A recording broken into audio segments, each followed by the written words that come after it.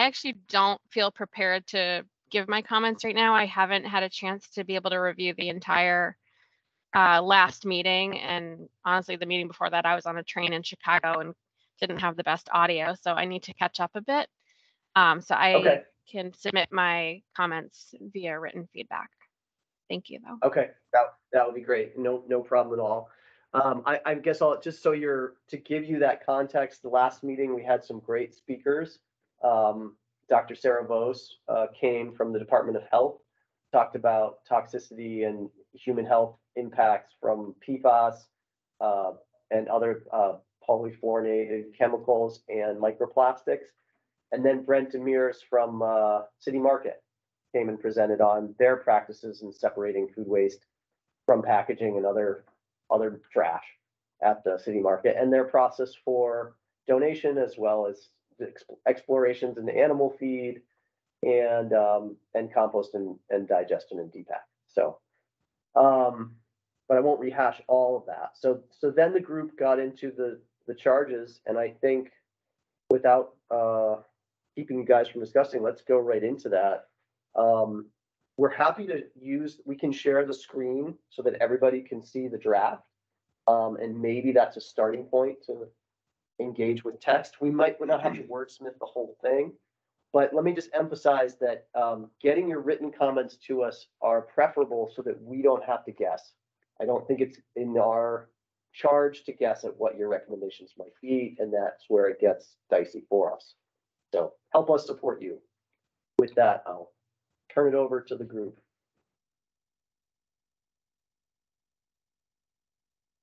Would you like us to share the the Yeah. Ben, is that possible? Yep.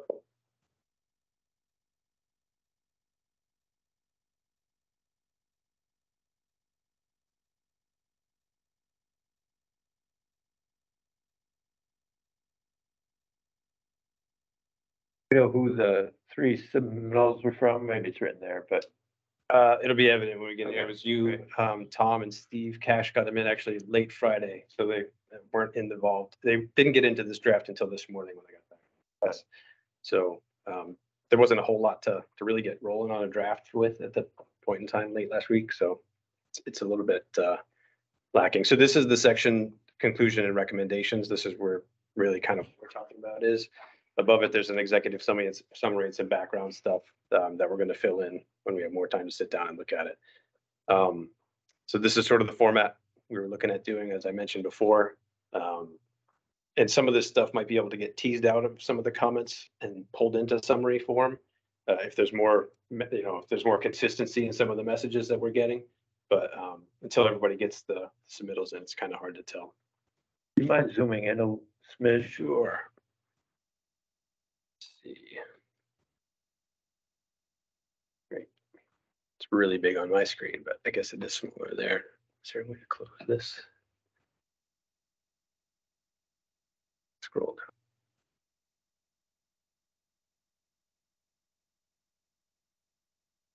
So uh, let me just say right out of the gate, like, it is optional if we summarize, if there's, you know, eh, points of commonality or points of contention. Um, you, you guys can decide. If you just want the record to be your individual participant points of view, we can do that. Um, it's your, it's your decision to make, so. Well, it's hard without the other things uh being in there, but I would think for readability's sake, it would be nice to have a summary of Yep. points for those points of overlap. So since uh, may not be able to see this on the screen, you know, the charge first for the group is recommendations on whether the organics management hierarchy in ten VSA six six oh five K should apply to each generator of organic waste. I think, and, and, and you guys can back me up or, or see what your perspectives are. Most people felt like it should apply to generators of organic waste.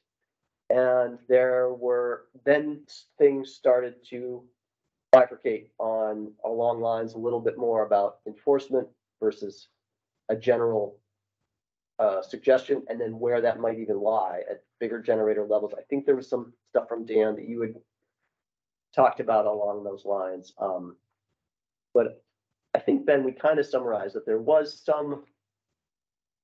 And, and again, since we don't have everybody's comments yet, it's hard to, it's hard to really summarize at this point. But this is open floor, Billy, Jenna, Aaron, anybody. Please speak up. Yeah, Yeah. I mean, I guess, Go ahead. go ahead, Billy. No, go ahead.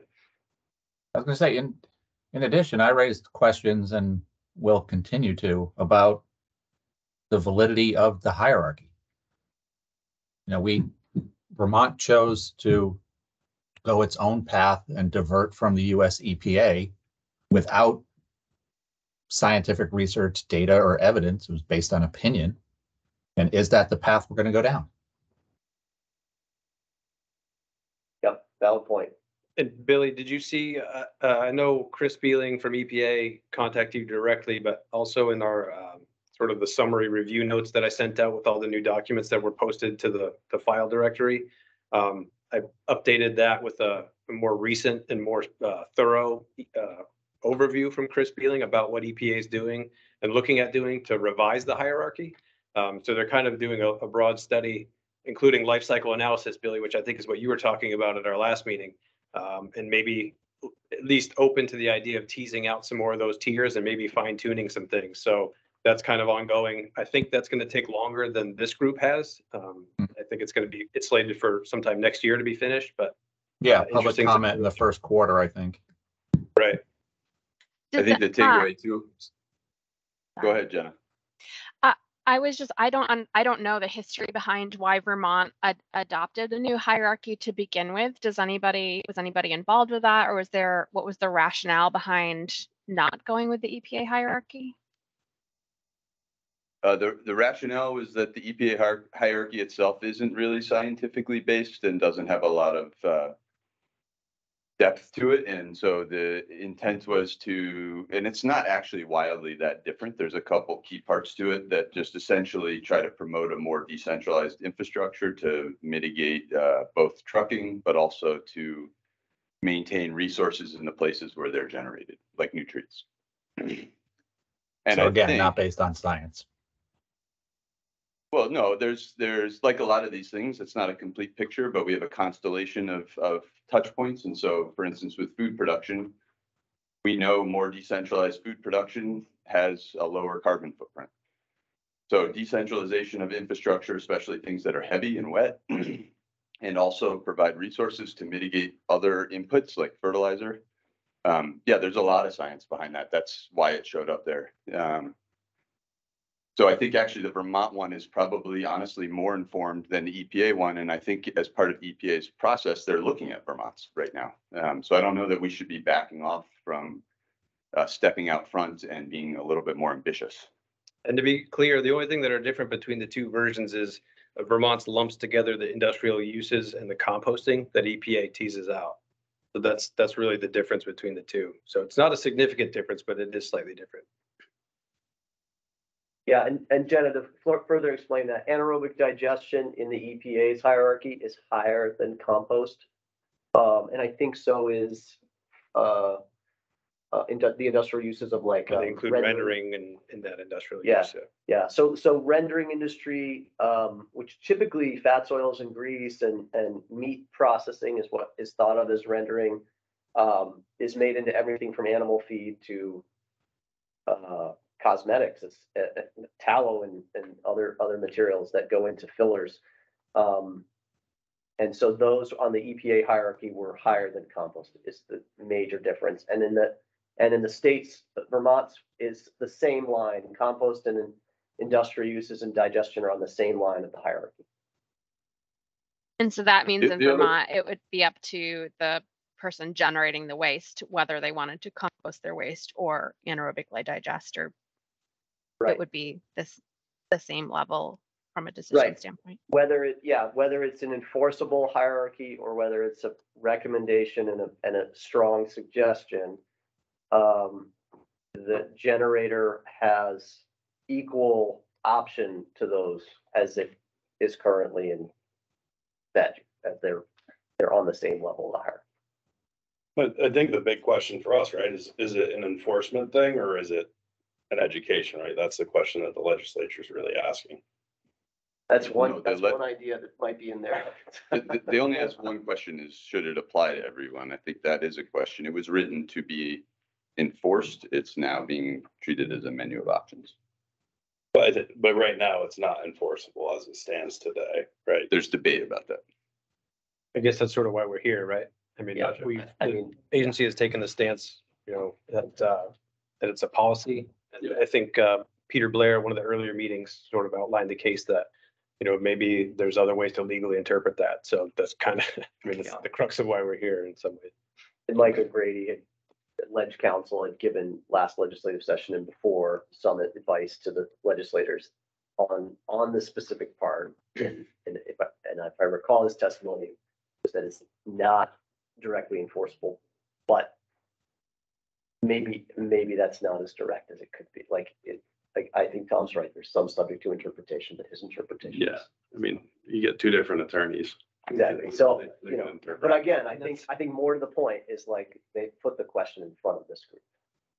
And that's sort of what we were looking into, um, when we researched what other states are doing in terms of, uh, you know, do they have the hierarchy in their laws? Are they following it or are they doing something that's an alternative? And we sort of looked into other measures that could be put in place to increase voluntary compliance with food waste reduction and food donation and things like that. And that could be simply implemented, uh, in lieu of enforcement, because like, I mean, we don't want to be out there kind of hammering people. We'd rather just people understand the need and the benefit of doing things um, and handle things the right way. So um, we'd certainly be open to kind of that approach if there's things that can be leveraged that, you know, bring about um, desired behaviors. I mean, I, I, I stand more on the side of education, and I, I would say that the hierarchy does have a place in the state, and I just evidence from what's happened since Act one forty-eight went into effect, I mean, you probably know, I don't know the food donation and how much that increased. So that's all part of voluntary compliance that, that happened, right? And that's part of our, our comments. You'll see that, I don't think enforcement is the way to go. I think education, if there's ways to make it easier to push people in those directions, I think it's great, but I think mm-hmm. more education and, and not enforcing it right now, because there isn't enough science as well to kind of say, hey, which direction is the best? I mean, and I think you're, the state's gonna be doing some of those life cycle analyses as well. I, I think there's a couple things. One, we, we have lots of things that are technically enforceable, but on a statistical basis, we don't really enforce, like taxes, you know? We still say that they're the, the baseline for how we need to operate, but we only actually enforce, pursue, audit, like, you know, the teeniest of fractions of things. And so it's the same thing with hunting licenses. It's the same thing with all sorts of things it's not about policing it all the time. It's having the capacity to police it. And it's about the public messaging of this is the order in which you're expected to do things. It's not gonna be the agency having, you know, badged officials going out and doing, you know, searches constantly. Um, So I think it's just, you know, we, we don't enforce every law we have, but we have the laws there to, to create a container for society that establishes that clarity. And you know, right now, food donations have gone up, but for instance, like, there's still a huge lack of infrastructure to meet the need for the emergency food system and food recovery. And right now, it's entirely funded through charity. But with something like the hierarchy, we can actually spur more private investment in those spaces by, you know, like you've been asking for, and I agree with, you know, having more clarity. So if we define where that market is, people will come in to fill it eventually. Um, so I think like the enforcement thing is kind of like the wrong framing in that it's more about like establishing really clear priorities that could be enforceable. Like the enforcement is the secondary part of it.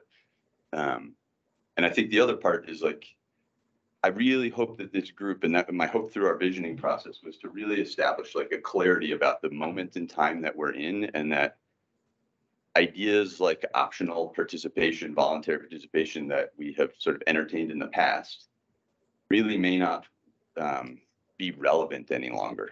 Um, I think we need to be a little bit more clear-eyed that sort of these voluntary compliance approaches have not worked by and large. Like they have some effect, but not maximum effect. And I think we're needing maximum effect. And we can kick every single question down the road for more science, but I think on a gut level, recovering food for people who are food insecure is the first order of business regardless of the science.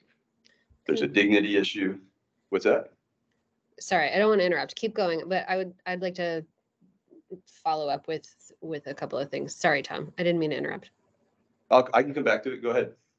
I just, I can appreciate the idealistic view that everybody should um, uh, follow the rules exactly, but we also need to li- live, we also live in a realistic world where even, even though somebody, some company decides that they're going to give food to a food shelf, doesn't mean that that food should have been given to the food shelf. And now the food shelf, let's say, is on the hook for managing that waste as well. So just because we expect people to follow the rules, it doesn't mean that that the rules the rules are meant for an idealistic society. I feel like that's where we're headed right now. And we need to understand the real world impacts on enforcement and this system that is set up right now for again an idealistic society um, the other thing uh, we need to i think acknowledge is different organizations different companies have been told different iterations of this hierarchy so i think clarifying what what we're supposed to be looking at the the hierarchy for would be helpful is it um, starting at the top and going down every level? Or is it just if you're doing one thing on the hierarchy, then that's acceptable? Because there's, there is differing messaging out there for, again, for businesses and organizations on that level. Again, I appreciate the idealistic view, but we don't live in an idealistic society. We live in reality and we need to understand that it's never going to be perfect. So, what is the best way to move forward within a realistic system? Could you unpack that a little bit more? I don't know that I actually am understanding sort of the, what the, what the framework is that you're presenting.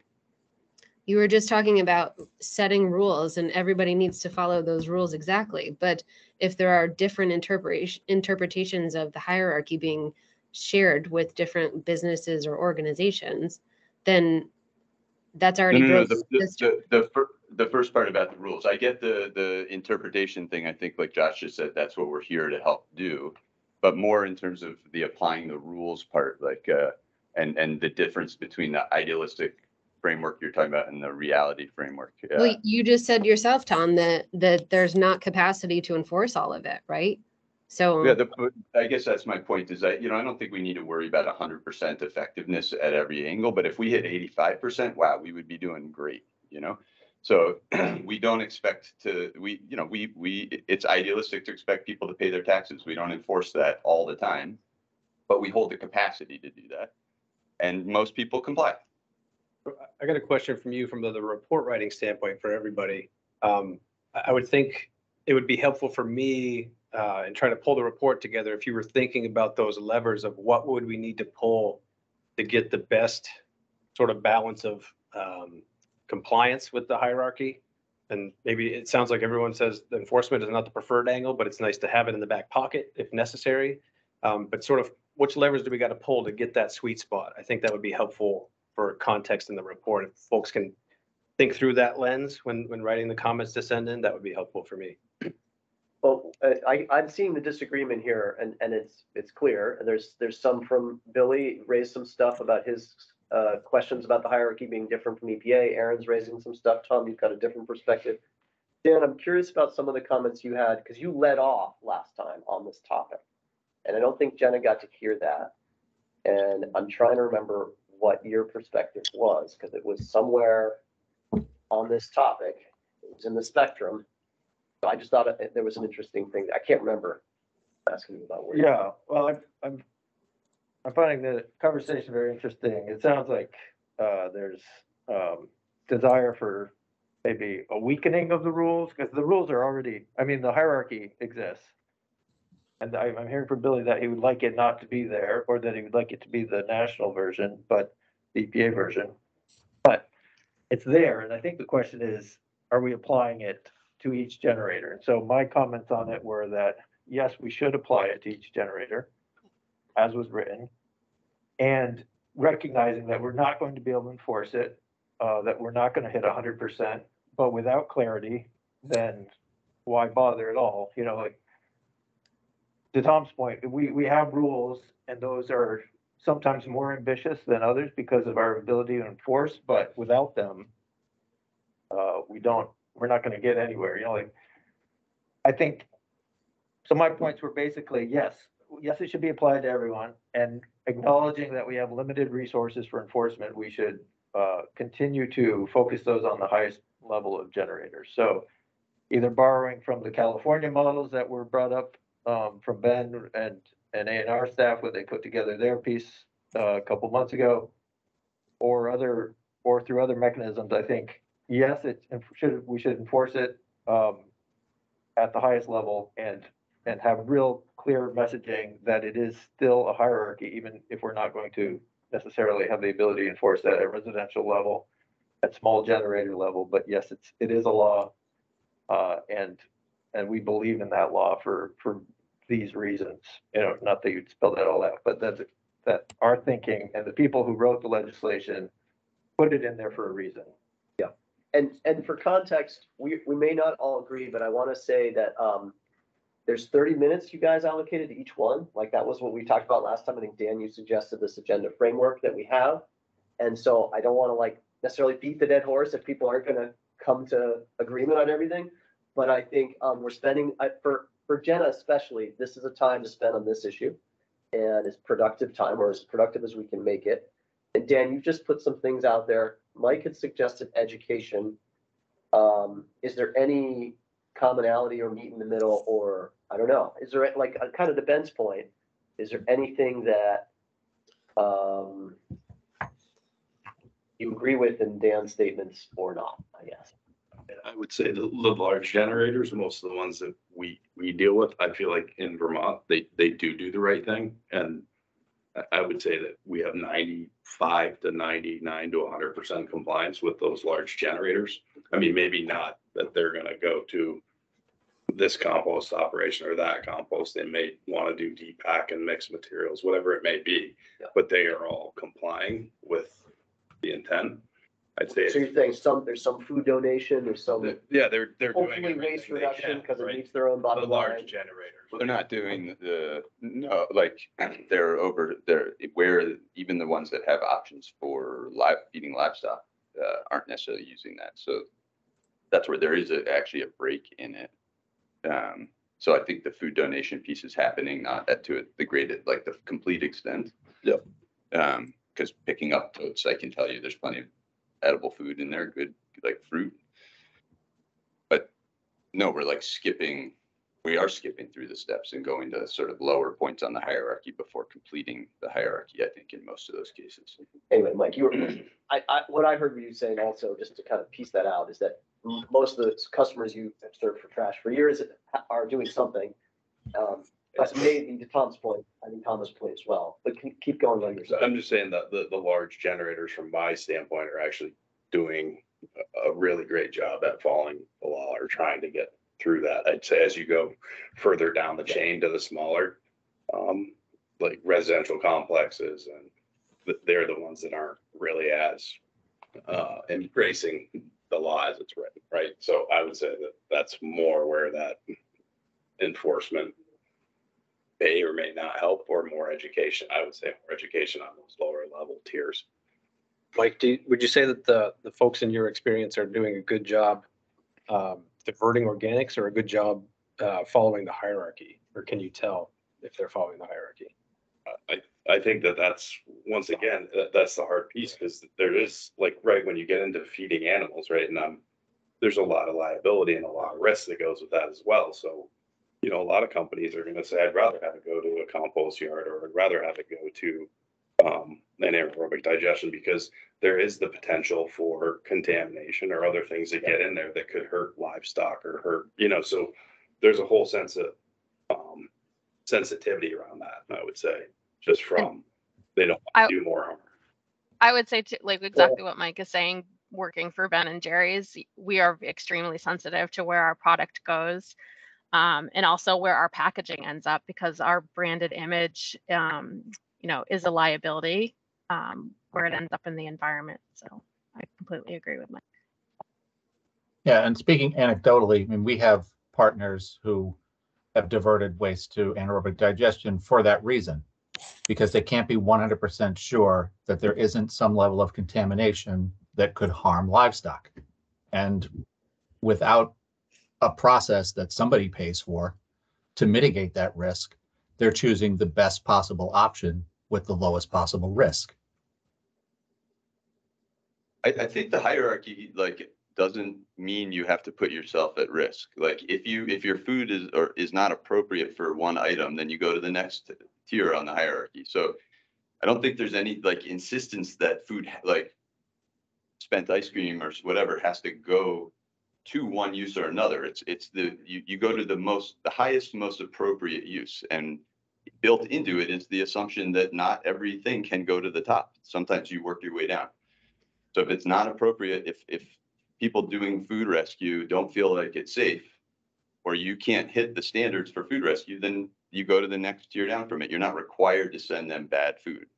Um, same thing with livestock and the livestock growers themselves are assuming the liability and also wanting to be self-protective. And so they're going to be cautious along the way. I, I, I don't think it's like quite as, uh,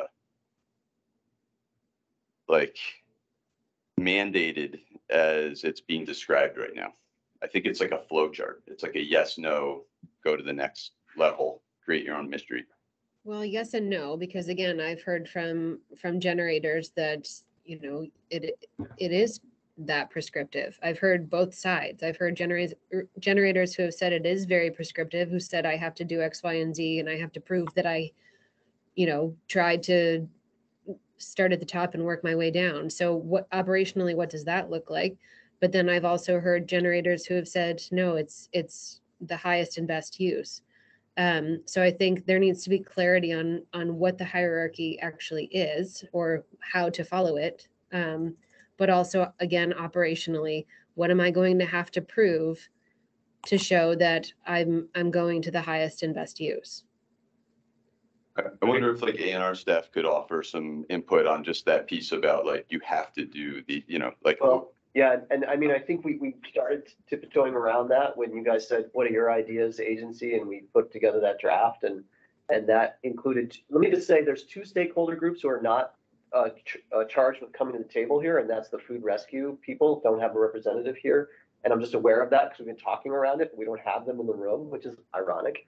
And, uh, and we also don't have, um, Steve Cash is not here today, which connects to animal feed. But, um, Tom, you are the representative for that, but there's, um, it's something we've, we, we've identified in that draft, two areas of possible leverage point, I don't know what you want to call it, um, action around food donation on the hierarchy and how to support that and animal feed, basically, and using, Cal- I think it was California as a model. I'm looking at Ben to remind me if I got that Yeah. right. Yeah. uh, And so they, and they, they, it- you know, we've talked about willing and able is a comment that I brought up and we've used that as a framework, um, or a, a, a, an ad hoc, um, term to, to be a beginning building block for framework ideas. Um, but the, there is a lot of, I think there's some good points about devils in the details. I have been in conversations with quality assurance officers at industrial companies like Ben and Jerry's who said are, you know, we, we can't assure the hundred percent uh, cleanliness of this. We could put in a hundred thousand dollar infrastructure to make sure, but we just don't have that capacity to do that. This was in the case of a dairy product that had been going to pig feed, away product, and, and it stopped. Um, Agency of Ag was involved in that as well, because both of us were looking at different options, getting calls. Um, But I just, go ahead, Ben. I, I'm aware that some of those stakeholders aren't here today and they would have good, Yeah, I was just gonna add to a lot of the thoughts that people had already mentioned so far and and the difficulty that I have from a regulatory standpoint, uh, when it comes to the hierarchy. Is it's difficult from our desk here in Montpelier to tell if someone has gone through, you know, is this suitable for this? Have I made a good effort at, at- at determining if there's somebody locally that can meet this need? If not, go to the next one. So it makes it really difficult from an enforcement standpoint to be able to do that kind of work. Um, I, I like the idea that Dan had mentioned about, you know, maybe having a, a larger generator tier or something where we work more actively with those folks, uh, both from an educational and guidance standpoint, and then also require a little bit of tracking to be able to say, hey, it doesn't look like you're making a, you know, this effort as well as you ought to. Let's try to bump that up. Um, but it's really, it's notoriously difficult from a regulatory standpoint, um, the way I look at it. So if there's, if we want to go that route as the group recommendation, it would be helpful to have some thoughts on how we can flesh that out. But just, but in terms of that piece of like, you must donate that ice cream to, or whey to pigs or not donate it, whatever, that Send it. send it, like, you're, right, wouldn't, wouldn't you, would you, would you as, as the regulators at this point feel that Ben and Jerry's right now by law has to do it, even, you know, if they're telling a pig farmer like, hey, we can't ensure this is clean, nobody's gonna wanna take it anyway, so they, there's no willing and able, so they would bump to the next tier down just by nature of this, right? Like, I, I'm not think it- overlooking the gray areas, No, but I- I'm just in concept, Like I get it. I think it gets a little, I think it gets a little sticky because, um, let's say you have a process where you take in food waste and, and have chickens have access to the compost product and others might not be comfortable with that, but you're comfortable with that. And so you're trying to convince the generator that you've got this higher and better use of animal feed, right? And then you've got agency of ag who regulates it and they're, you've got to look at their regulations. And so it, it, But but their regulations fit in, and if it doesn't fit into those regulations, it's not an option. right, right. So that could be the checks and balances. We, we- I mean, isn't that, Sister agencies defer to each other all the time with oversight and say, if they approve it, then.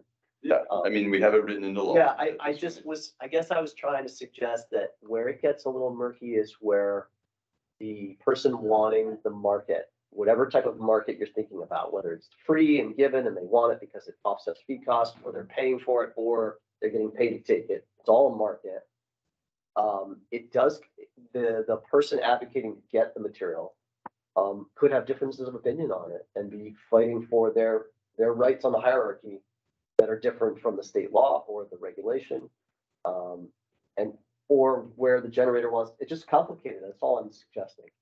And, and I could see that happening. I mean, I see it in the recycling industry all the time too, right? Where we might not take something to an outlet because we do our own due diligence and say something doesn't check out, right? Not to say that that's your facility, but there could be other compost facilities that pop up and I go and do a, an environmental audit before I bring any material there and I'm like, yeah, they might be higher on the hierarchy, but I'm not gonna bring material there because I'm not gonna put Casella's name on that outlet, right? And Sure. then someone could come back and we get into a big dispute or lawsuits over, hey, we didn't want to bring material there because of X, Y, Z, and that could take ten years to vet out. And we've had those, those things happen before, so yeah I Yeah, think that's Ben and- another big.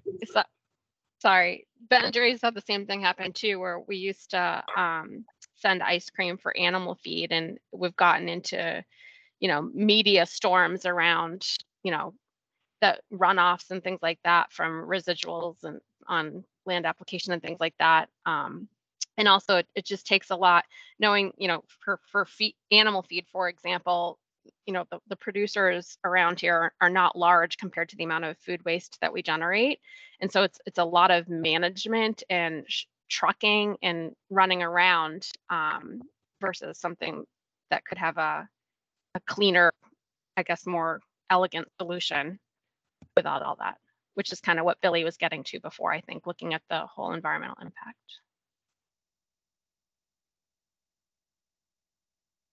So it's ten fifteen. Um, I, I see people have some differences of opinion, which is expected in this group. Um, we, we're dedicating about a half an hour per topic. Um, should we keep going? Should we move on? What would you like to do? We could go until the half hour on this issue and see if there's any other commonalities, any other. I was gonna suggest we kind of move on to the next two items. I I know there's a reservation in this room directly after this meeting, so we don't have any. So we have eleven thirty hard stuff. Yeah, eleven thirty.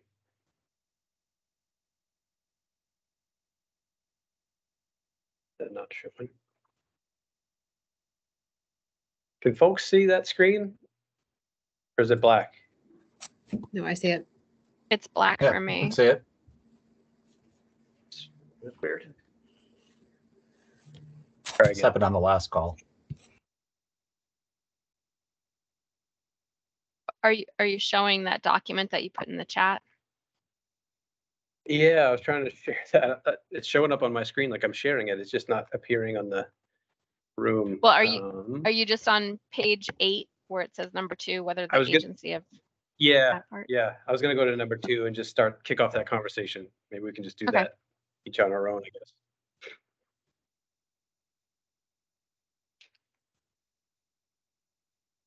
Um, as people are reading, I, I want to bring up a resource that I asked Ben to put on the website. Um, and this is a, this is the definition of food waste and what is considered a food waste that's banned and, and how does the agency approach that issue? And it's highly complicated. But I do think that going through that, that difficult exercise and drafting that guidance document was helpful. Um, and I think it's almost like a, like we asked for extra guidance on this stuff. It's a model of trying to get there. Um, it's not perfect. It can still use work. It probably will evolve, should evolve. Um, we can, we can share that as well in this conversation and context. I, I just wanted to make sure that I think Mike's aware of it. We were working with Trevor Mance at the time when, uh, when he had all these different wastes and Karen Flanders had it. Um, it was helpful to, to bounce different scenarios off of different waste materials and where they would fit and what would be contaminated and and what willing and able might look like. So, um, and I'll see if I can join and then maybe I can even share screens.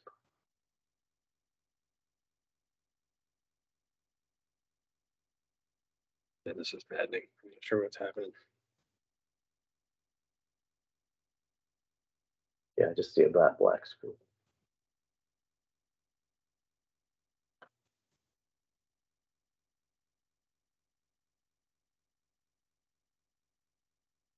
Well, I guess that ain't gonna work. Maybe if we can just all uh, scroll to that page and take a look and kick off that conversation. I don't know how else to do it. I might be strange. share then. It's uh, page eight of the Word document, of the draft. the draft, yeah. So weird. Do you have it open from the Y drive or do you have it open from, um, uh, from the website? Probably both at this point. In a bunch of different ways. They're, they're the same document though, so Yeah. you can pick either. I guess while we're waiting for this, just, you know, I think as we try to draft the report, we should just make sure that we're really explicitly answering the questions we've been asked. And the, the kind of creeping nature of the scope here, I think if we do that, I think we might find more consensus, you know, um, but if we start opening everything up, um, one, we're doing something that we weren't asked to do, and two, we're gonna just have a harder time kind of writing anything that's cohesive. Um, so maybe like just really clarifying on that depackaging issue, the question is, who is it applying to? I think that's really the question we're being asked as a group, not should it exist in any of these other parts You mean on the hierarchy issue? on the hierarchy. issue. Okay. Said, you said depackaging, just confused. Sorry, thank you. No worries. What page you on, then? Uh, page eight of the Word document. All right, let me see if I can share. if- Maybe it'll ask you In for the summary section. Yeah, just, uh,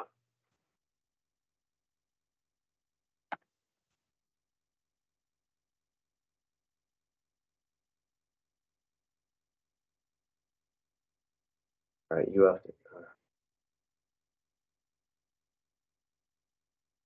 Same thing.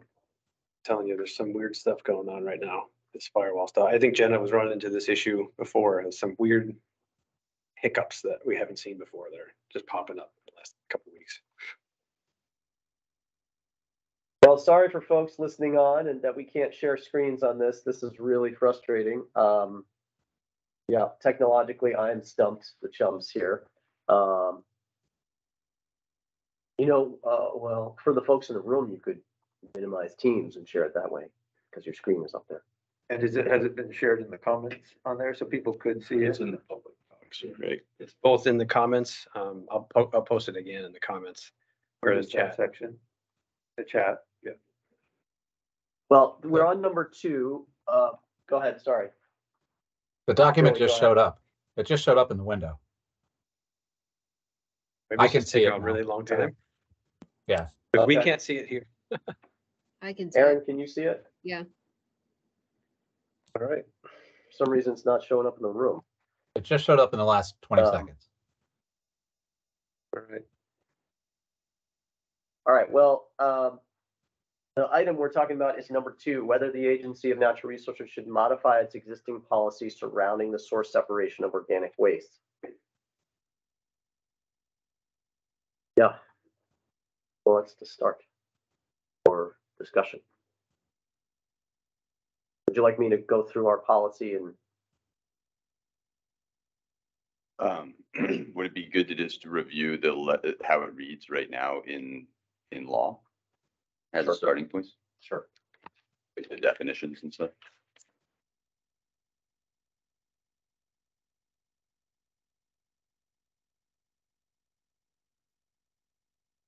Um, so in the state statute, um, amended by the Universal Recycling Law, Act one forty-eight of twenty twelve, source separated and source separation means the separation of compostable and recyclable materials from non-compostable, non-recyclable materials at the point of generation. And food residual above that means source separated and uncontaminated material that is derived from the processing or discarding of food that is recyclable in a manner consistent with section six six oh five K, which is the hierarchy of this title. And then it goes on, food residual may be, may include pre-consumer, post-consumer food scraps. And food residual does not mean meat and meat-related products when composted at a resident, uh, at, by a resident on site. And then, Where, where is this written? You, you were speaking kind of fast. That's on the website. it's in, um, I'll, I can post a link, Jenna, in the chat. Yeah, Jenna, these are definitions from state statute that were amended. Um, so I can give you the statutory reference, but also we can put it on, Thanks. um, on the website. For folks, it, it's statutory references ten VSA, section six six oh two definitions. And those are a lot of solid waste definitions, um, and they were added those uh, that section of definitions was added to as part of the universal recycling law. And, oh, there it is. And what I'll do is I'll uh, we prepared a document earlier on um, at the hierarchy meeting that we had that has all this kind of pulled out of various statutes and, and hyperlinked. Um, so I'll post that document in the chat for everybody. And then further, the, the part of the universal recycling law that applies to generators is 10 VSA 6605K, um, which has, which starts with the food residual management hierarchy. And then after the hierarchy, uh, which, uh, yeah, by the way, the hierarchy says it is the policy of the state that food residuals collected under the requirements of this chapter shall be managed according to the following order of priority uses. And then it goes through reduction at the source, diversion for people, diversion for animals and agricultural uses, uh, composting, land application and digestion. And then last was energy recovery. Uh, and then it says a person, and this has been a conversation in this group a lot. And can we define a generator? So it says a person who produces more than an amount identified. This is my old version of Act one forty-eight.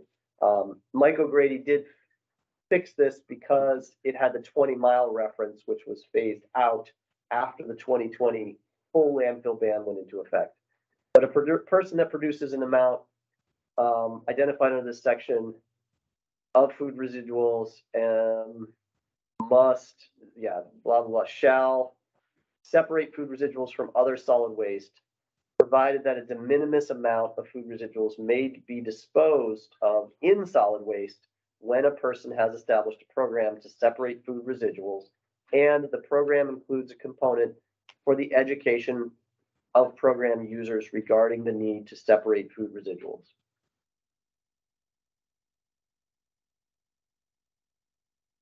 So that's a lot, and I don't have it on the screen, so that's probably not helping anybody. Um, I think I'll, I'll stop talking in a minute on this one. I think, um, there is in, as this group has heard discussions from, from attorneys like Matt Chapman, former attorneys like Matt Chapman and- and attorneys, um, uh, I'm forgetting his Peter. name. Peter Blair. Peter Blair, thank you. Uh, attorneys like Peter Blair have taken different approaches. Um, there is standing definitions, as Tom has referred to in statute, on source separation at the point of generation. And the agency had to think about how to apply this as, and put out a policy document that essentially um, permits the commingling of packaged and unpackaged food. And that is a subject of uh, concern among some and, and has been spoken about the legislature and is a crux of an issue in front of this group. Um, So if you need any more background, let me know. I'm happy to go into more detail.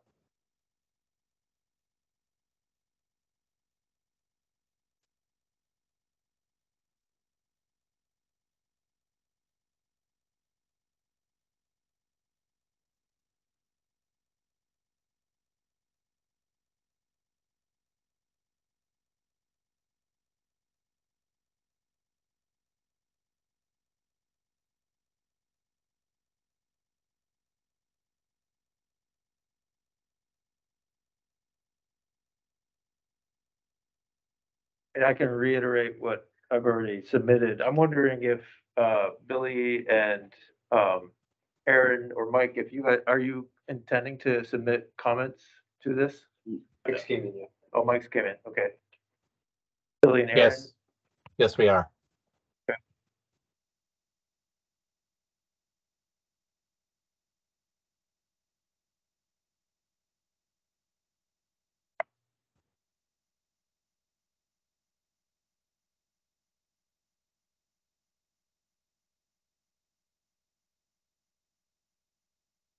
I guess just to kick it off, um.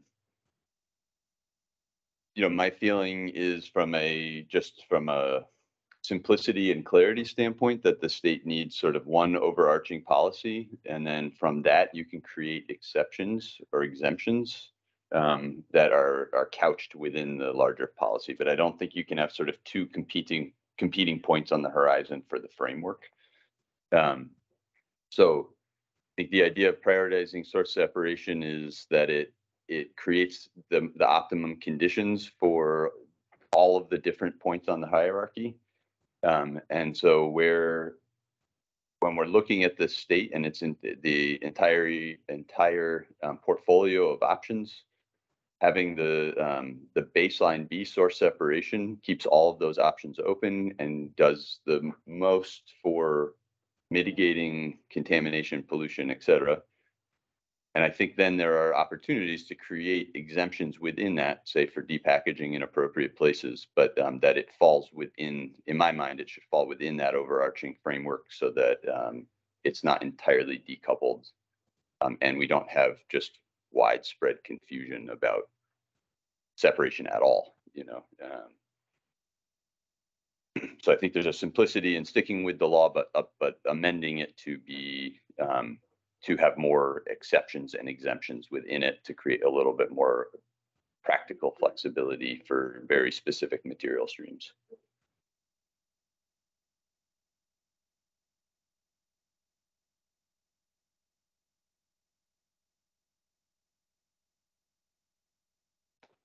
Here, so this, this is Dan Goosen's, um, submitted, boy, this is slow. I scroll, it takes forever to react on the screen. Um, yeah, there's like a long train for this whole thing. Um, Steve Cash has also submitted comments on this topic. Uh, the Agency of Natural Resources should change its policies surrounding source separation so that it does not allow food residuals to be managed by commingling packaging and unpackaged food waste. Case number two is a definition, a separate definition should be created for food residuals that have been processed in depackaging equipment. This material is not uncontaminated and it does not align with the definition of a food residual. Number three, if the policies around source separation are not changed, uh, the output of depackaging equipment should be managed as a solid waste by ANR, including sampling for microplastics and PFAS prior to export. The application of the output waste should be regulated under a residuals management program and records of land application, date, rate, and contents, nutrients, PFAS, and microplastic content should be collected and monitored. Land used for depackage or waste management should not be used to grow food feed without sufficient testing and management practice in place to ensure it is safe to do so. Okay, so those are the, and Mike, I don't know if you want to comment on your comments yet. I don't have them in the document. Oh, did catch up. No, I mean, our, our comments are just, I mean, without the lack of research and understanding on some of these things, it's, it's tough to say which direction to go in. I think one of the other pieces for me would be clarity in, you know, what is defined as source separation. One of the things that we run into as a hauler is even at the organics facilities, some accept some products and not other products. So, you know, bio bags being the big one. So I can't take some of our compost to certain locations right now because bio bags are included at some facilities and not others. So I'm kind of want to make it more of a overarching source separation means this, and we get rid of bio bags and say, this is what it may be, right? And I, I think that's just a discussion. Maybe that's not kind of the charge of the, the group, but at the same point in time, yeah, talking about it, so I mean, biobags could be considered as something that's not a food residual. So it's, a- it doesn't seem like an unreasonable question on the source separation. part. Yeah. We certainly don't tell people that they have to throw napkins in or bio bags are not banned. they Throw them away and napkins are not banned and they. can throw them away. We've been, we've answered those questions before. I'd like to make an observation. It seems like, um, the folks who are currently accepting the commingled stuff or part of that system would like that to continue perhaps, whereas those, uh, we've heard other voices, including my own, that say that commingling um, shouldn't be allowed so that you can maintain the options. Um, I'm just curious conceptually if, uh, if everybody in this group um, would agree, perhaps just in, in terms of, of putting this report together, if indeed there's recognition that um, by maintaining what we call source separation, by maintaining the quality of that material, that it does indeed allow for all the options on the hierarchy, like, is that a point of agreement? Regardless of whether it's not, whether, whether or not you want that to be the final outcome, is, does that make sense to other folks? Because to me, that seems like pretty baseline, um, point in all of this, is like, source separation for me means that you have more options for what happens to that uh end stream material. Whether or not it's achievable from your perspective, um, or efficient, or does it, would folks agree that if you can keep packaging out of food waste, um, that, that indeed increases the amount, the likelihood of being able to feed people, feed animals, uh, big soil, and uh, perhaps even more options for digested, um, digestate, the tail end of that process.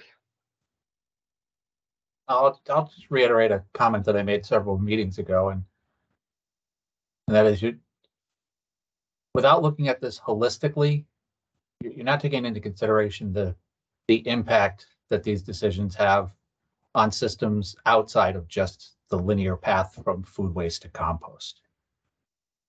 So, you know, we had this conversation about price and cost and value. And putting a price on organics is not the same as putting a value on it. And I push that back again. You know, the, the climate impact from putting material on the ground and letting it off gas is pretty significant compared to capturing that gas and repurposing it.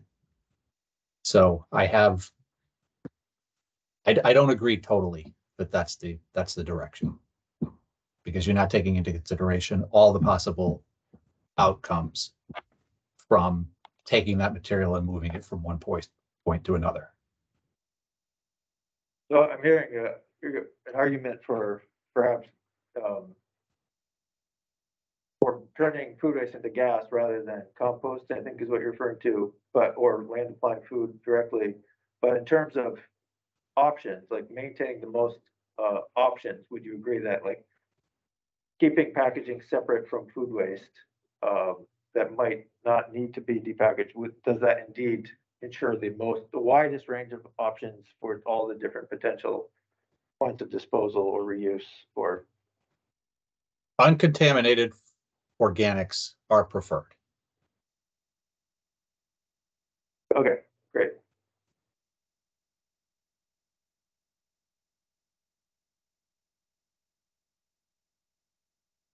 I will note, one of the, one of the things which I'm not being cute, but uh, Brent Demir said packaged food went to donation because he kept, because it kept in his packaging to contain its life.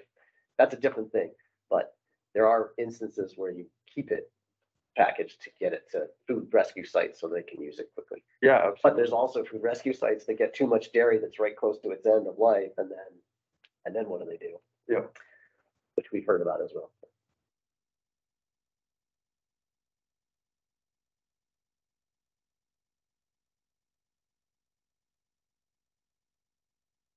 I, I guess just to ha- ask testing questions, you know, one sort of along the lines that Dan is, is asking about. Um, is, is it something that we can agree on that, um, that in order for the state to be successful with the law in general, there needs to be that clarity that sort of says, here is the singular frame.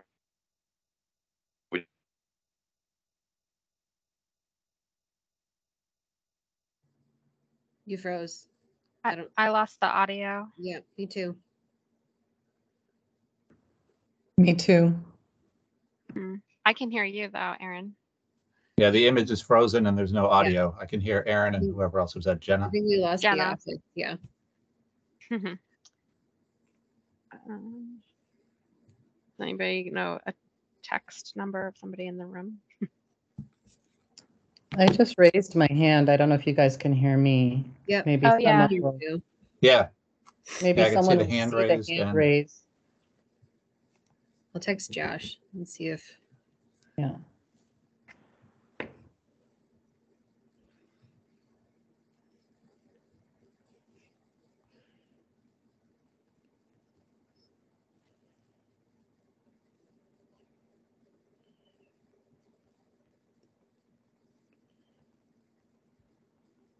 Oh, are they totally gone now? I They're think gone. they're probably, they're probably gonna rejoin. Yeah.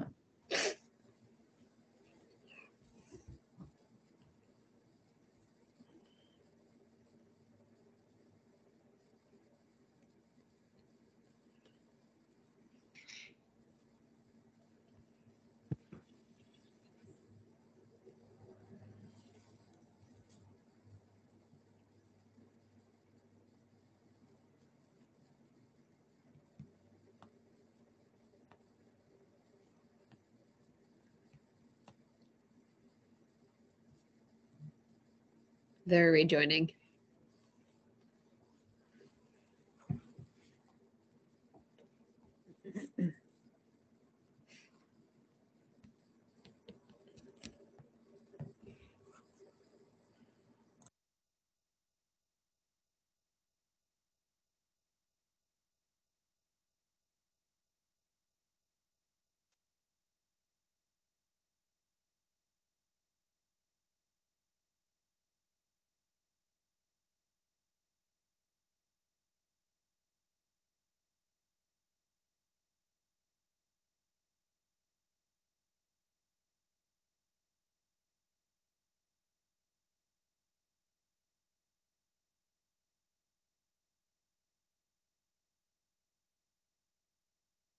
Mike Casella just texted me and said that they're trying to get back on.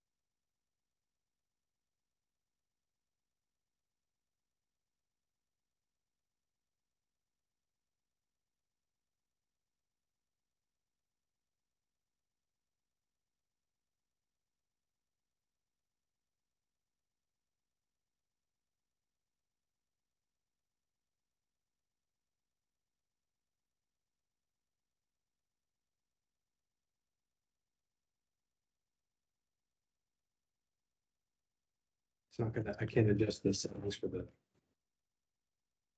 Yeah, is there a way to mainline in that monitor, I wonder? Uh, here's Might have to something. Change the monitor's internet Ooh. source. If we can get. We back can hear to you now, the- Josh. Did Yeah. you join as a, Aaron, can you hear us? Can you hear me? We can hear you. Yeah, Yeah, hang on, I got my speakers turned off. I got everything turned off. Okay, go ahead, Aaron. Can you hear us? Yeah, I can hear you. Yeah, so the the internet, uh, state of Vermont internet, uh, in the National Life just crashed, like the whole thing. Oh, Yeah. no. So that's what it is. So now I'm on the state of Vermont public internet. Um, IT is working on the issue, but, um, our mega screen that we normally use is, um, obviously not using that Wi-Fi. So unless I can figure out how to troubleshoot that, I don't think we have access to that. that I might uh, call the IT back on for, for now. Um, but for now, I'll unplug my laptop. Turn up the volume.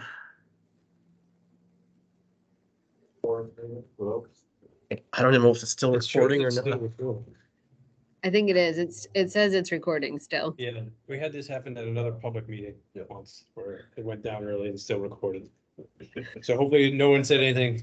while we We're offline. Stupid Nobody thing. did. All right, so you're kind of back. Um, you're gonna have to, people in the room are gonna have to speak loud so the laptop speakers hear you or Ben can repeat it. I'm gonna call IT and see if they can get that thing back on. Great. Did You guys figure it all out? When we were, I mean, number two? So I think, I think where we left off, Tom, you, you were asking a question. I was just simply, uh, yeah, testing the idea of like, do we agree that sort of one unified policy with ex- exemptions within it is necessary for clarity for the, the markets, for businesses, for generators, for haulers, um, versus having sort of two parallel systems that are not integrated.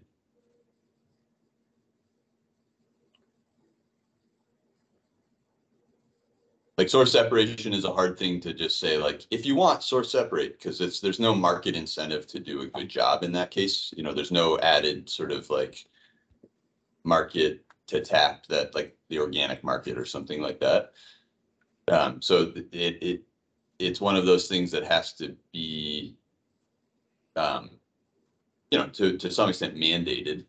Um, and it's hard to mandate something when you have a parallel system um, rather than embedding that parallel system in as an exemption.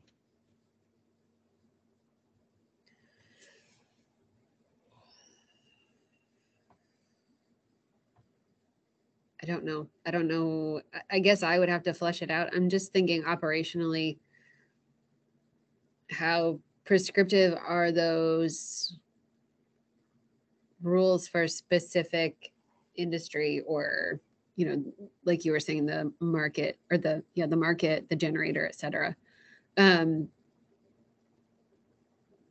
I don't know if more rules are necessarily clearer. I'd have to think about that operationally. I don't know about what others would think. Yeah, I'm not, I'm actually, it's not more rules, it's like source separation is the law right now. Uh, and so then the question is sort of like how to, how to frame, like. Like structurally, for let's say, a messaging standpoint, like it's, you. You kind of need one message to put out there.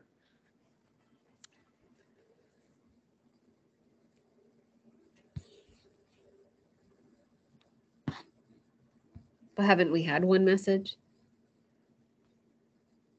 Um, what we did until there was some uh reinterpretation that sort of created this uh parallel reality that's not integrated into the law. Can, can you be more explicit what that means? I'm not following what this parallel system yeah, I don't know what a parallel reality is. So in the laws Josh just read, um, source separation is mandated.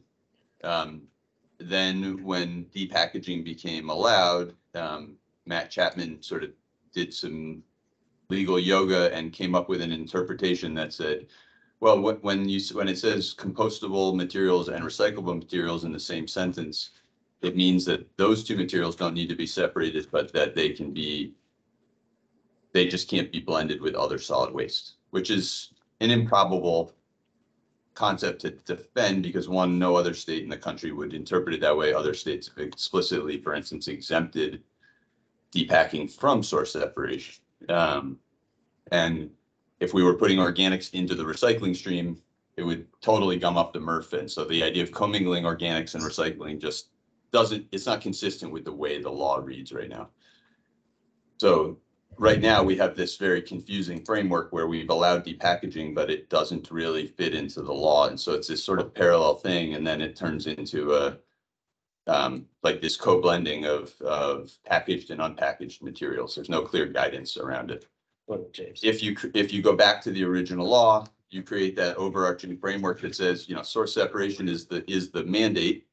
But like many other laws, there are exemptions within that, that would qualify for doing something other than that. Um, then it's a unified message and people understand where a different practice fits in, in the context of being an exemption as opposed to a totally parallel system.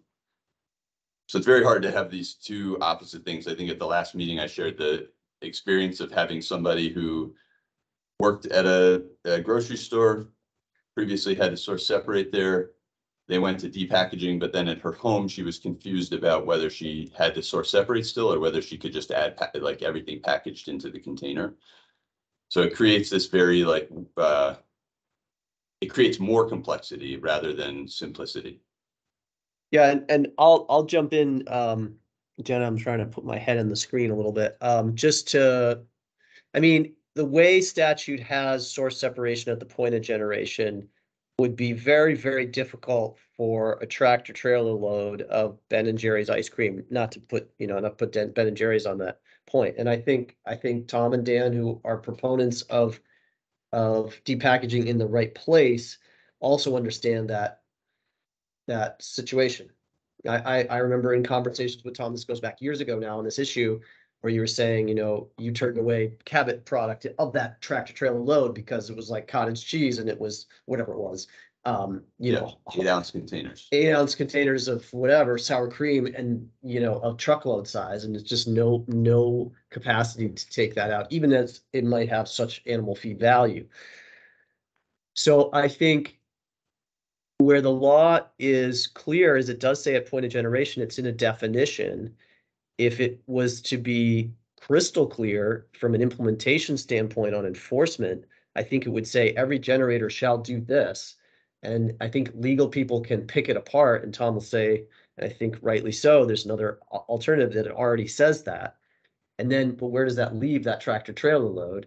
Does that mean that it it, it, that if I own that tractor trailer, it's at the back of my warehouse, my manufacturing, that I need to have a people to manually do that? Can I use a machine? Can I use my machine? Or can I outsource that?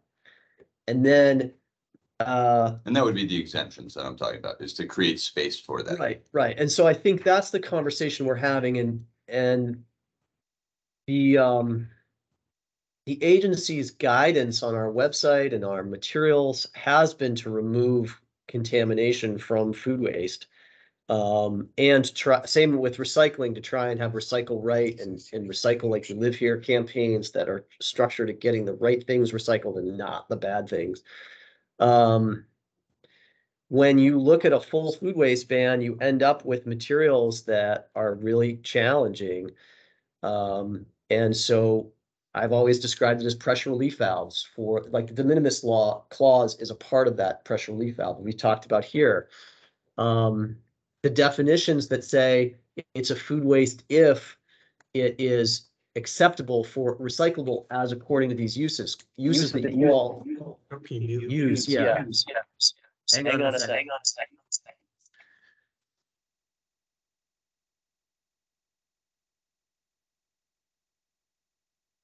Okay. uh,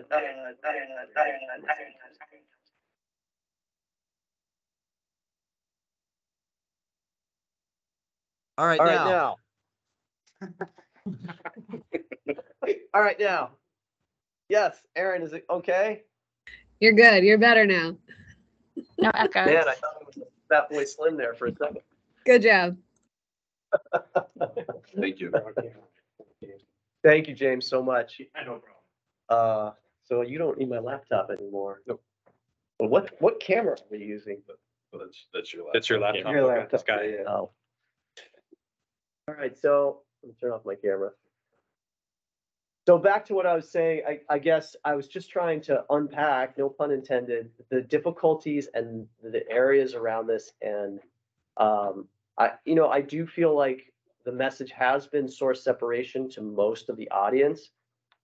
When it comes down to the universal recycling stakeholders group and some real core crux of issue, tough points uh, where the agency has fallen in the policy is to allow commingling of packaged and unpackaged, and that has some outcomes that people are wrestling with here, that you're all talking about. here. But the message for that worker in a grocery store Yep, is confusing. nobody's clarifying it for them. So the framework I'm proposing that has the exemption for depackaging built in means that basically the, the state would be presenting, or the business in that case, you know, generally, source separation is the law of the land. In this case, we're allowing for this specific Yep. way to manage this stream of material, but it's a, it's a, it's an isolated, uh, discrete function. It's not a parallel system. And I think that's the piece that I'm trying to point out is from a messaging standpoint, that gets sloppy really fast. Yep. Um, this is getting more, you know, there are folks operating depackaging systems that are now bidding on different types of, of contracts. So including like recycling centers. So suddenly now we could have some recycling centers where you're, you don't have to source separate. You can bring your packaged food there potentially, like if, if source separation isn't the game, what is the game? Because if it, it sort of turns into the Wild West at that point, and then suddenly there's no uniformity throughout the state, Mhm. and we've totally lost our ability to sort of drive towards a clean end product. And I think one thing that, even despite the disagreements on the hierarchy or source separation that have emerged over the last ten years, all of us at the table building this law were dedicated to creating the highest value, cleanest system that Vermont could sustain um, and be really proud of and not have it full of trash. Um, and that just starts getting really complex the minute you don't have one sort of uh, um, unifying framework. Yeah, and- I, I'm encouraged, I, I don't want to take up too much of my own, your time with me talking, but someone like Jenna, who's representing industry, has tractor trailer loads, which are unlikely to come to you, um, could have in, in some past gone to Green Mountain and, and prior to that, the Intervale, but it's not always effective given liquids and all that stuff. But, uh, I guess what I'm saying is there is still room in what you're saying for depackaging. Absolutely. And even with, with what Dan was saying, the question is, where's the line? And, and I think there could be benefit to clarifying that for the agency if, if there's changes to be made. So, you know, there is room for help. We didn't get into that in the ideation we, we provided, this, this draft we, we, we discussed with you all. It didn't get into a lot of detail on that. It mostly was following this California model of the hierarchy and how to prioritize that. Um, it did talk about source separation is the, and then two different options. It was like source separation is required now in this future state.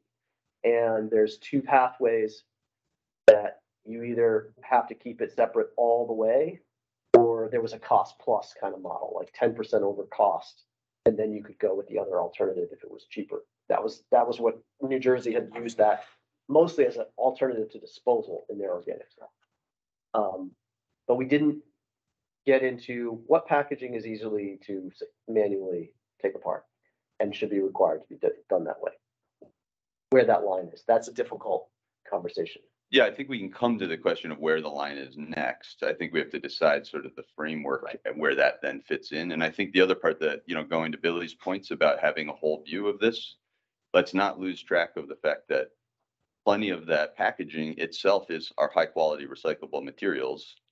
And so source separation in theory pr- protects all streams. You know, it, it makes sure that those, those high quality plastic clamshells are ending up in the recycling stream. When they get commingled, we lose the ability to recycle those things. So this isn't just about organics. This is about managing the entirety of the resource stream that's coming out of various operations. And, you know, the organics part is only one part of the law. We haven't really, and actually it would be really nice to hear from you guys about from the more the dry goods recycling standpoints, how commingling and the loss of recyclable materials to the landfill or incineration as a result of commingling, how that sugars off too, because I think we have to consider that as we, we filter through the organics part. Yeah. So like right now, in the other parts of the law, are you allowed to just throw like plastic in the trash? Because that's essentially what that, without source separating, that's what's ultimately happening. I mean, no, the law doesn't allow that. Um, plastics that are recyclable one and two. Uh, those, those are the only landfill banned plastics. So number five is technically you could throw in the trash. Black number five food containers. Yeah. So how, like, how have you guys reconciled within the context of both the source separation piece for organics and with the recycling rules? The allowance of, uh, of technology that ends up meaning that those plastics, the one and twos, are going to disposal?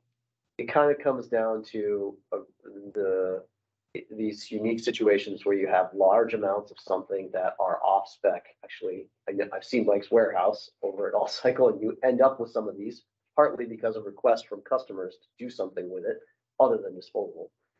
Um, like crates and crates of Axe body spray and the black plastic kind of thing, you know? Um, and it doesn't square well because it's not, it's still got the product in it, so you can't recycle it. It's got food waste in it, right? And, um, But some of these things could be separated. That's the point. I'm Right. not, you know, there, Right. yes, there- I'm, I'm saying there is a line where it can't be. And where I think we all, like, if we want to work backwards, I think we probably have consensus about that. That there is a role for, for not source separating certain materials for certain reasons, and we can define those later. Yep. But from an overarching standpoint, that clamshell, people have been opening it up the clamshell, shaking the cookies out for years and recycling the clamshell. Uh, we now have easily unpacked materials that don't, aren't necessitated for mechanical separation, not getting source separated and as a result, not fulfilling the obligation of the law as far as I can tell. So, so this overarching framework of source separation keeps us a little more true. It gives us a North Star to work towards. And then it gives us the space, if we take it, to then define where it's appropriate exemptions from that. But having them be parallel means that we're not framing it with exemptions and therefore it is like this sort of Wild West scenario where we're undermining other parts of the law. where, where would you guys propose exemptions in that? Well, for now, we could just say s- like that there are exemptions. I think we, we're not even in the agreement that they're uh, like Right. exactly how to do the framework. So I feel like we could just, if, if we can agree there should be exemptions somewhere, that's enough for now. We can come back to what those are once we agree on a more of a framework. Aaron? So I just had a question. I- If I'm reading the second charge, it doesn't ask us to prescribe anything. It just says, should we modify its existing policy? So are we supposed to be coming up with these exemptions and suggestions? Or is it a yes or no question? But, I mean, I think those are the, that, I think those exemptions ultimately are part of the answer to that question, probably. I cannot speak for Senator Bray, but I think if he were here, he would say, you know, yeah, you could obviously take the short, direct route and just say yes or no to this question, but we were, we were hoping the stakeholders would come with some ideas. When I spoke to him early on, before we even gathered, he said, I hope you come out with some good ideas. That was about all I got. So th- for help too, one of the handouts at, I don't know if it was the last meeting or the previous meeting was an internal draft of interpreting all of these things that didn't end up getting adopted, but sort of displays like another line of reasoning that I think is a useful reference point. Um, and sort of does unpack sort of that framework of it's hard for these things to be, exist in parallel. They need to be more integrated. I think that would go the same for all the compost facilities, right, too? Like, what's the acceptable material, right? Like, if we're really gonna look at it holistically, you gotta look at source separation and say, what's accepted at each compost facility? And do we have that same? uh, we we don't take I totally agree, but I think that, bioplastics and other stuff like that. yeah, I mean, I think that there's always gonna be, um, you know, different plastics recyclers will take different numbers. You know, there's always gonna be some of that differentiation, but I think the point of the state's role is to define the baseline, and then there can be differentiation in that. Um, so I think this key piece of like, or I think this is the key piece of, do we need one for guidance framework? In this case would be source separation and then build exceptions from there, or can we somehow sustain these, these totally parallel interpretations, which to me seems intellectually dissonant, like I just don't understand how that could work, but.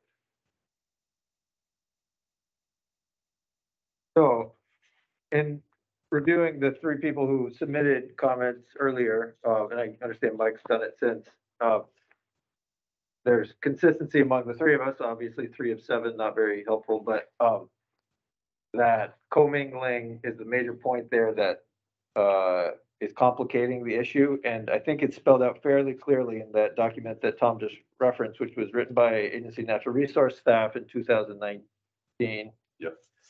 Um, and I referenced it in my comments, uh, but it's also on the website and it's been shared. Um, I think Ben passed it around perhaps several weeks or several meetings ago.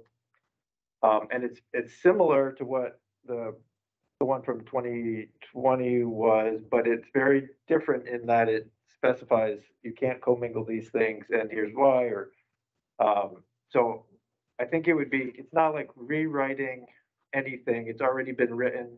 It was an earlier interpretation and, uh, Tom mentioned it was interpreted differently by, um, agency counsel later on, but I think there's a lot of hearing from the other stakeholders who have been on these calls. It seems like there's, and from, you know, I, I'm representing the composter's perspective and I'm, uh, heard from the Composting Association of Vermont as well that, um, reverting to that earlier draft would very easily uh, hit those points uh, that we're all in agreement, I'm sorry, not all of us, but those who have spoken are in agreement, uh, would, would satisfy the source separation um, clarification that I think we long for.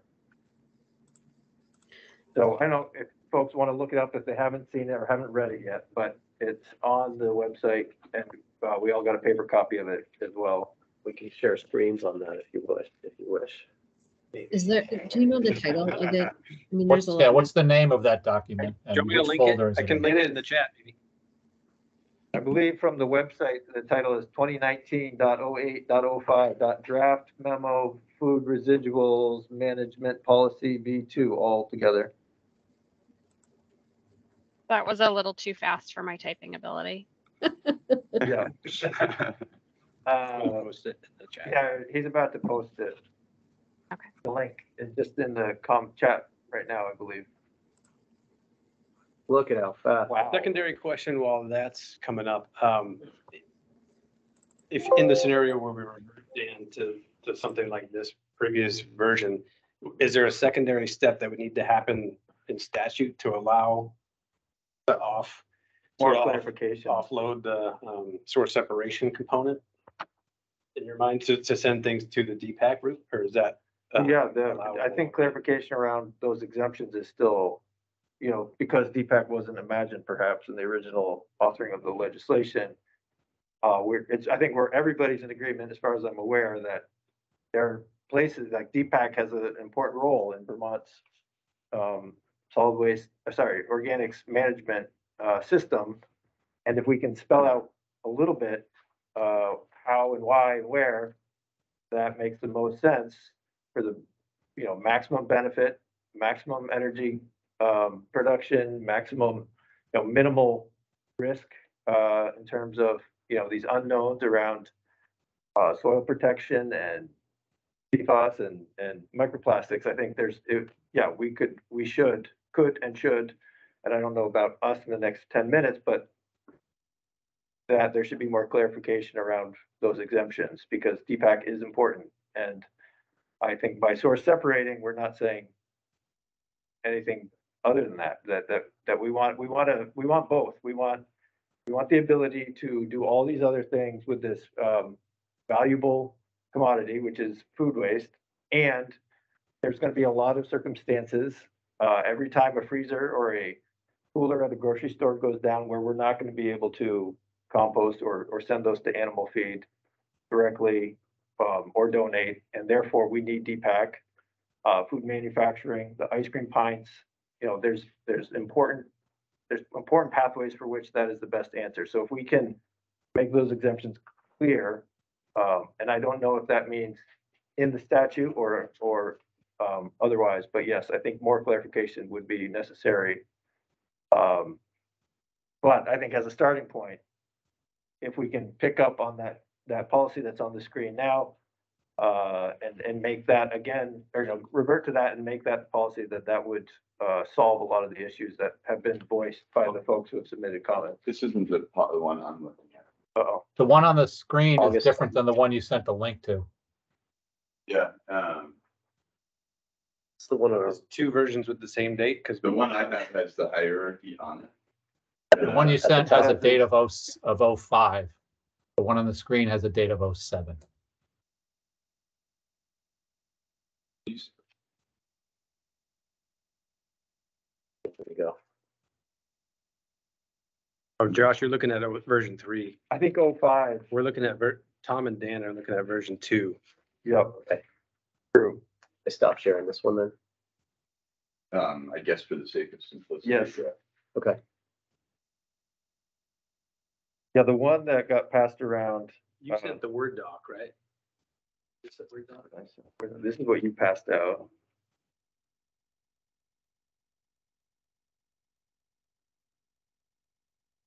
Just match this before I send the link, to that one.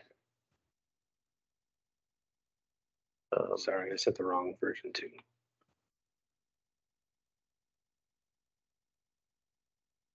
The other version too is on its route. this is in the chat then. Yeah, the bottom link. Right, I'll, I'll go through the chat. So the second link in the chat is the actual document I was referencing, I believe. But I think that was written, uh, and I think the folks who have made comments, uh, shared them with the body so far. And those, many of the folks who have been in the wings and have commented or submitted, uh, supporting documents are all in agreement that that would be a good starting point for, uh, clarification around source separation. And then to the question a few minutes ago, yes, more clarity on depack, where, where and when and how that makes sense as an exemption to what is otherwise source separation kind of standard.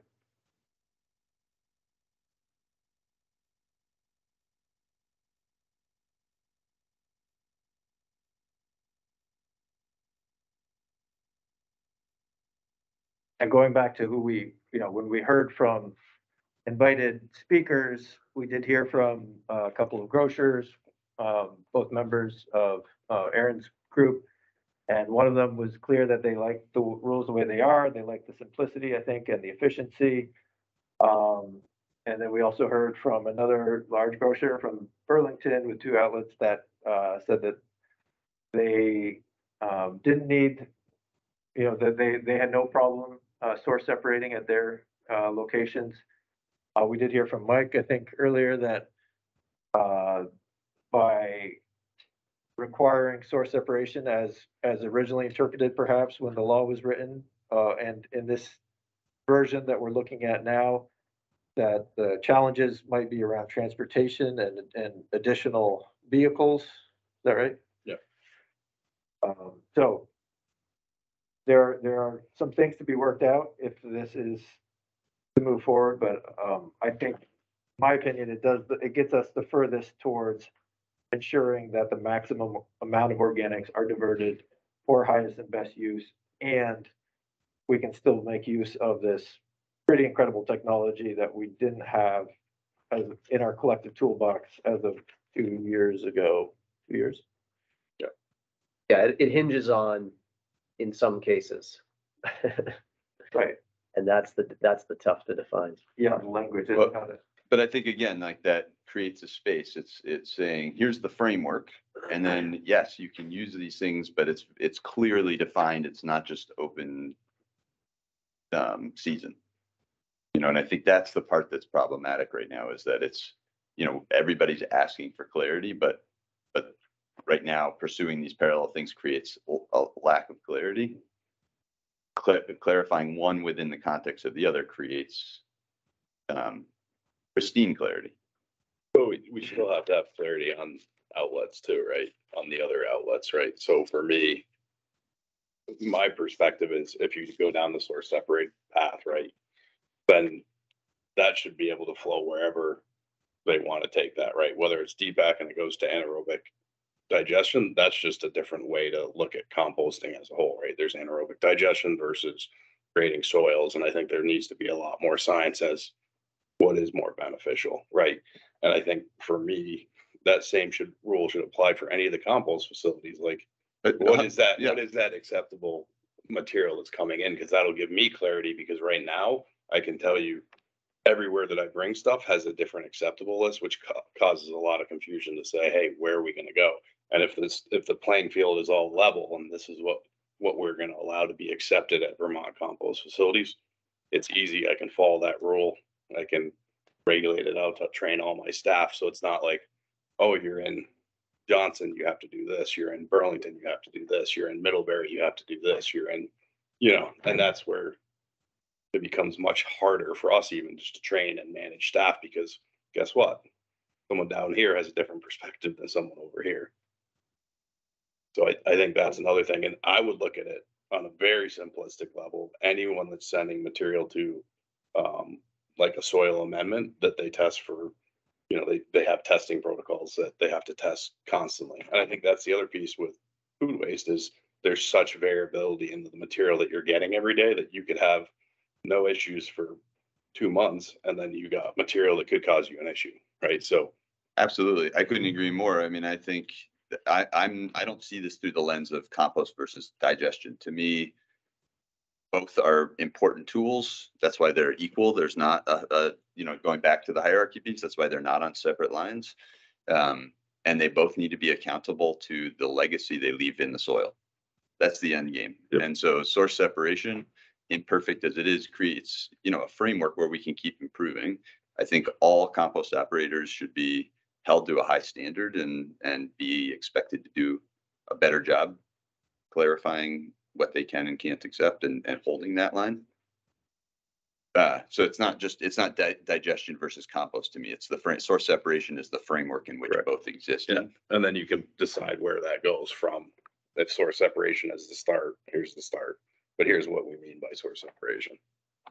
Right, and, and by not having that clarity, we- don't get to make that decision, or generators don't get to make that decision, haulers don't get to make that decision necessarily because it's already contaminated from the get-go, and so that's what I think we're trying to prevent that contamination at the very, you know, out of the gate, gives us a lot more opportunities for using that material in other ways. Um, and sometimes that's gonna be compost and sometimes it's not. Sometimes it's going to be animal feed, which wasn't an option if you're, if you've got your packaging mixed in, so. Anyway, that's my pitch for, uh, reverting to version two, two from, with a five in there somewhere, the one that's on the screen. We have fifteen minutes left. I want to sincerely apologize to folks joining remotely for our technical difficulties earlier. Um, I, I don't know what to say. We've seemed to come back on. That's good. But we do have a hard stop at eleven thirty. So I can say from the agency's perspective, it's going to be super helpful, regardless of where you fall on these issues, for you to give us your own words, uh, perspective, written perspective on this, so we can incorporate it into the report. Um, and if you have ideas on directions or, or whatever, um, please put those ideas in, on paper and send them to Ben. Um, so to make it crystal clear, please send in your, your recommendations on the three charges, um, in the agenda to Ben Gothier, um, post-meeting. And do we want to meet as a group again or, uh, send stuff around via email? Email has not been working so well with this group, at least hundred percent participation has not been achieved, so it's been difficult. Um, what would you like to do?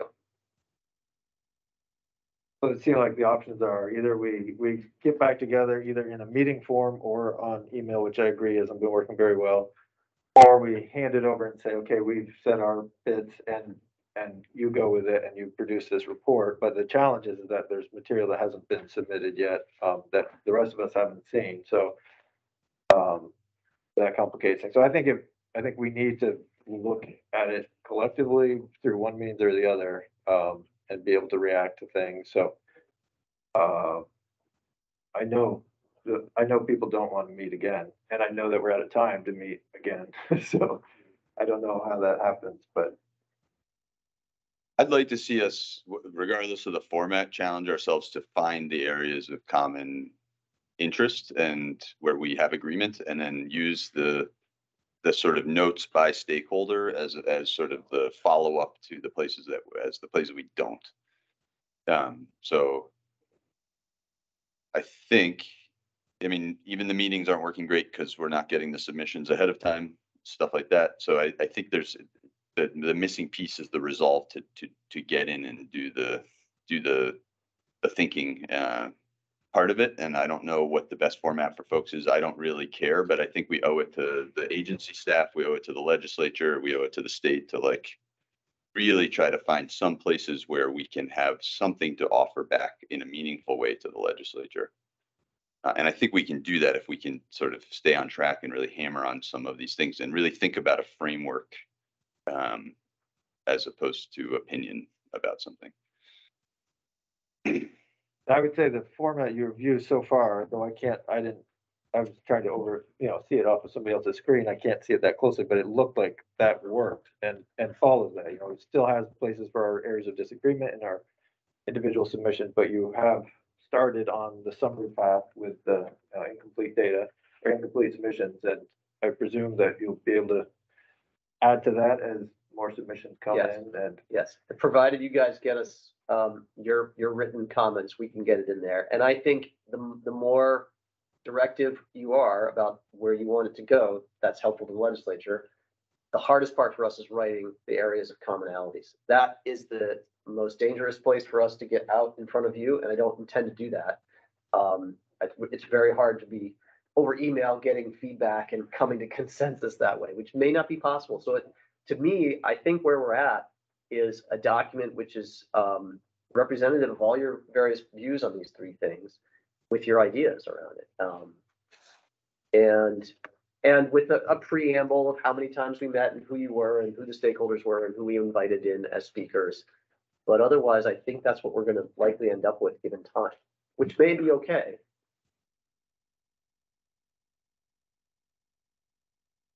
would, I don't think I'm the person to do it, uh, but with the ten minutes that remain, does, would it make sense to try to just voice bullets so that we, where we think we are in agreement? If anybody want, was so brave to try to do that, just so you've got, and maybe, maybe reading off of there is how to do it, but Yeah, it's, uh, it's even tricky there. The one thing where it seemed like there's agreement is the hierarchy should apply to each generator. Um, and then there was some differentiation on how to get there, but that was the one thing where it seemed like everyone was on board, uh, my interpretations. The next one where there was almost a majority, uh, was, um, I mean, almost consensus. Uh, but certainly the majority was, uh, whether ANR should amend the policy. Uh, most people thought yes.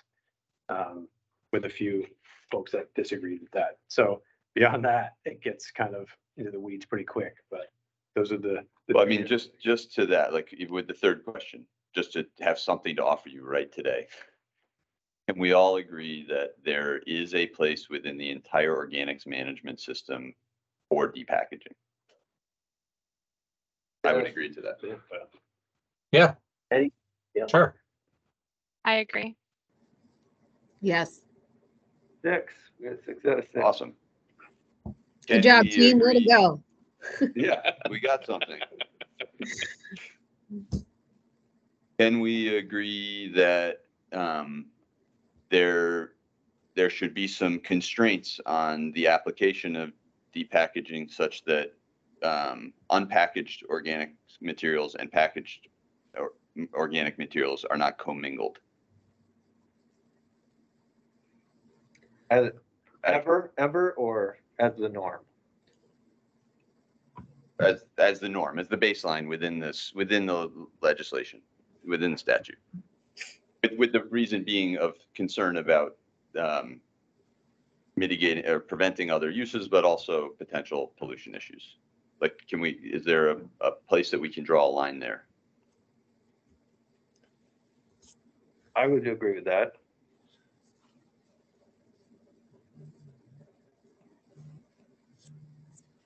I would probably be on the other, I'm like 50 50. I haven't really kind of figured out where I would land on that. I, I just think it gets back to the testing and, and for soil amendments. So anything coming out of the facility, I would frame it more that all organics facilities, whether it's depack, compost facilities, there should be third party testing. Maybe on size of generator, like if you're a, a thousand tons, you But have to the- test once a month. But let, let's stick with the, the framework for the flow of material, because like testing's always like a backstop. It's not a policy, so like. If, if something doesn't have plastic in it, is adding plastic to it potential, you know, like, is that concerning? And therefore, I think the question is sort of like, would you draw a line to be adding plastic into But something I, I that's think already that's the hard separated? part with source separated, like even the studies, and there's not much data out there, but whether you have source separated or depack, you're gonna have plastics and other contaminants in it, right? I, w- I don't think that's actually the data that we saw, but I mean, like, I think, um, well. But, but, but it is actually, like, you know what I mean? I, I, I know everyone in compost struggles with contamination at ketchup packed clubs. I mean, right, that's just a piece of it. So yeah, you have source separated, but there's still gonna be some contamination in it. And, and I've seen where there's great composters that do a great job. There's great depackers that do a great job. And there's been a whole list of other people that maybe they don't do as great of a job. So if source separated you think is gonna fix your problem, it's not gonna fix it a hundred percent, right? Because there also needs to be levers that we can pull to say, okay, hey, state of Vermont, we have this one operator, this one, just say school that is not complying. They keep putting material that they shouldn't in there. What are our levers to then manage that appropriately? Which means that maybe we have to dump their compost as waste because we can't, kind of the same thing we do for recycling, right? Like if there's too much trash in the recycling, we have to dump the recycling as trash. But that's what we're looking for, those levers, right? To be able to say source separation in this case, you know, the commingling isn't appropriate. You know, Yeah. and that's where ANR has the leverage to come in, you know, and try to influence. All right, let's stick to things that we can, don't have to talk through then. Um, I mean, I don't need to drive the questions. Let's, ju- if everybody wants to popcorn style for the last five minutes, just throw out some questions where we might be able to like take the, e- flip these things around and find the easier things to agree on. Um, I think there's agreement that everybody would like more, uh, scientific study on everything mentioned. Heard that a lot. Here, here. Yes. I agree with And so presumably support from the state and funding research and speedy research. good luck. Conveniently, we have a study coming right up. Uh, and including on like the effects of PFAS and microplastics on, on human health and in the environment. I think, uh, we heard from a couple folks who were very concerned about that. Um, and they seem, you know, it's a terrifying subject if you start paying too much attention to it. So, uh, finding out more about that in general, I think, and, uh, And an under, Look- and I think an understanding of what's already existing in the environment right now. We don't even have a baseline. sure. And, You know? and Uh, How much plastic is on the side of the road? How much plastic is in the front lawn of the state house? How much is in your crop fields? How much is in your compost? You don't, you don't know. Um, I was just gonna finish up on that PFAS thought that, like, looking at what other states are doing, particularly Maine, who seems to be, uh, taking a different approach and, and, and, and being a little bit proactive, uh, and, and then what everybody has voiced, I think, is trying to cut it off at the source. There's legislation in place in Maine where that's already happened, so giving a nudge to the legislature to look upstream in trying to solve some of these issues, I think would be great. And then I would assume that we would all agree that, you know, yeah, we gotta figure it out on the tail end, but, but also some teeth on the, on the front end of the process, you know, where these things are generated would be great. yes. I would agree with that. Is that a point of consensus in terms of PFAS specifically, like? like Putting more focus on where the generate, the people who are selling it and making it and distributing it in Vermont? Absolutely. Yeah, EPR, yeah. I agree with that.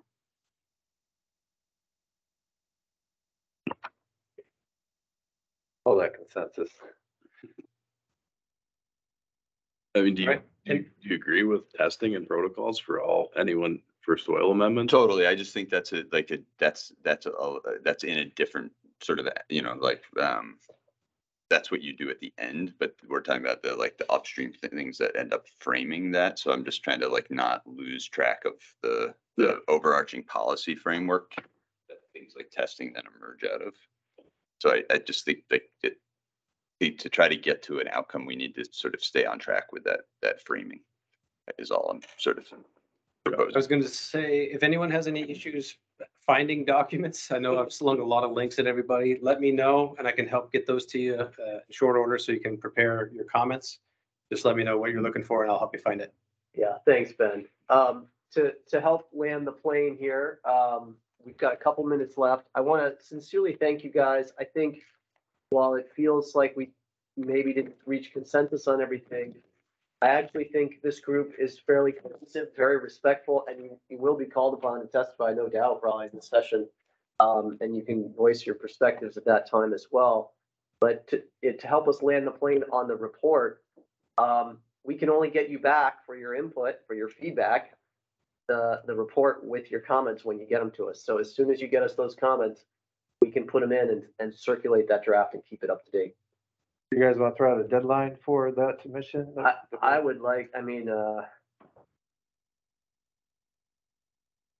I, I would, I would even be so bold as to say end of this week, because I, I don't feel that that's too unreasonable, but if people need more time, we, we can see where it goes. Um, Well, I think we were just throwing out like initial responses to These, those weren't comprehensive. So I mean, I'm assuming we're gonna, that's, that's not the end game. no, no, not the end game on the report, Right. not So the I mean, final if- draft. If we could just get something in, incomplete as it might be. And these are, you know, this is, I think maybe, I mean, Mike, you're saying you're still formulating some stuff, and I think uh, probably others are as well, so it's hesitant to put it out on paper where your position is. Um, if you, if you need more time, the group can suggest otherwise, I. Um, I mean, I, I honestly put out my thoughts to, on the timeline to meet the timeline and didn't sort of hedge to have the perfect language and framing. So I, I think there's a little piece of like, let's just get some stuff going. We can agree that it's not the final version of anything and come back to it, just because we're gonna, we're, it's gonna st- start getting hard to, we're gonna need more dialogue after this. yeah, yeah, how do you want to do that? Right now? But we gotta go. There's a, there's a group that has this meet, this room right after. I think more than likely, you're gonna end up with Tom said this, Mike said this, Dan says this, Jenna says this, and that's okay. Um, and wordsmithing what Dan said from you is like, that's what Dan says, it's his record gets to stand, you know? So I think that's okay, if that's how far we get, uh, in the light of time. If we can help you, um, sideboard that to some other, sure. I'm open. Uh, Aaron, go ahead. Sorry, um, I didn't, um, can we say Monday by like noon? I have my annual meeting this week, so if I can have everything sent to you by Monday at noon, I can guarantee that. Yep. Yeah, I, I think, you know, basically it's a copy and paste exercise for us. I, I mean, I'm, I'm, I'm leaning on Ben very heavily here on the, on the part where you submit your comments and we paste them into the document. The writing of the summary of how the, everybody's perspectives collide, that's the harder part. And uh, if you all don't agree with anything we say, I think that's where we have to walk that back and keep it really simple. That's gonna be hard over email. Is my expectation. I mean, I'm open to doing a forty-five minute call. Okay, let's get, let's see how far we get on a draft report. We'll send that to you, and then Mia and Ben, um, Mia might be able to do a doodle for that type of a call to debrief the report as it stands. We can Okay. walk through it piece by piece. Does that sound good? I think so. All right. All right, great. Uh, I see some people maybe gathering out there. So thank you all very much. Thanks to the participants, um, and especially other stakeholders who've been